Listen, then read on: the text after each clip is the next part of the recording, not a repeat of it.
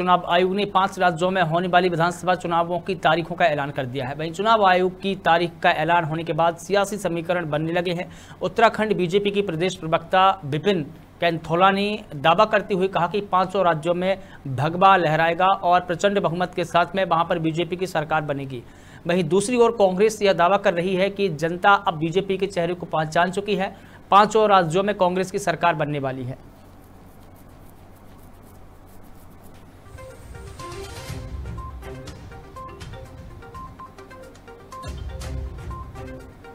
देखिए, पाँचों राज्यों में भारतीय जनता पार्टी एक बार फिर से अपने आप को स्थापित करने का काम करेगी और भारतीय जनता पार्टी सभी जगह सरकार बनाएगी कंफर्टेबली सरकार बनाएगी। भारतीय जनता पार्टी की जिस प्रकार का काम डबल इंजन की सरकार में हमारे अन्य राज्यों में हो रहा है, चाहे उत्तराखंड हो, चाहे उत्तर प्रदेश हो, चाहे तमाम राज्य हो, या मध्य प्रदेश के अंदर चुनाव है तो वहाँ पर जो काम है, जिस प्रकार से हमने काम किया है, और डबल इंजन ने जिस प्रकार से राज्यों में काम किया उसको देखते हुए देश के अंदर जिस प्रकार से अन्य राज्य निरंतर विकास की ओर बढ़ रहे हैं निश्चित रूप से सारे पाँचों के पाँचों